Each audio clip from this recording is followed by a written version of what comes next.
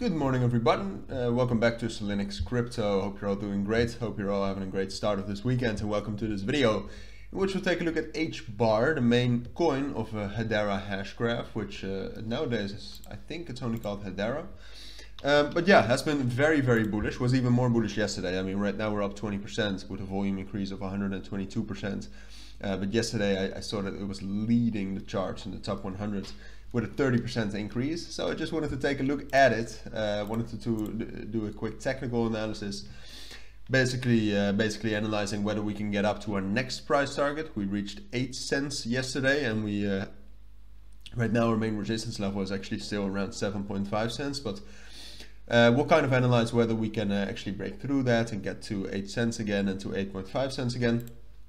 But we'll also talk about some fundamentals and some things I think you need to know. Uh, right now, starting with the volume, because Hedera Hashgraph, if I remember correctly, and actually I haven't analyzed HBAR for, for a very long time, and I'll, I'll call it HBAR for now. Um, I haven't analyzed it for a very long time, but I actually do hold uh, HBAR. Uh, I think most of you don't know this, but I've held it for, for, for, for years now. Um, but it's uh, it's a little bit of a long-term hold, and usually the volume is uh, relatively low for HBAR, but right now it's, it's very high, and it's just compared to the market cap, it's great as well. So I checked out the volume and what you can see and uh, what I don't really like is that there's quite a lot of Korean volume uh, which is throughout the entire market all right? Let, let's let's be clear about that but it's if there's proportionally a lot of uh, Korean volume usually that means that there's some sort of a, a manipulation going on. Now lately for the bigger cryptos like Hedera that hasn't been always true um, but it's still something, uh, it, it, still increases the risk, all right? So we should know that, and I feel like you should know that as well. So if you want to trade HBAR, for example, be a little bit more careful than you would be. Um, but apart from that, Hedera has been developing uh, good as well, and I think it would be a shame to not show you that, uh, because it's 100% true. I mean, if you take a look at the total value locked, it's been in a steep uptrend. For total value locked, this is a pretty steep uptrend. A steep uptrend since the, the, the mid of August. Uh, we, we went from a 15 million to a 40 million total value locked. Um, so that's great. I mean, you can see that the uh, ecosystem around Hedera or on Hedera is not that big yet.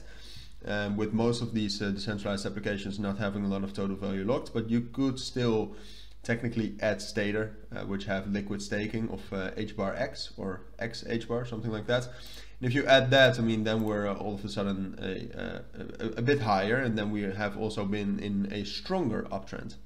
As you can see, then the total value locked would be 133, which would bring it at about, um, let's see, 133. Yeah, that brings it at, at 25th place. So then you could consider the 34th place in market cap as, as undervalued.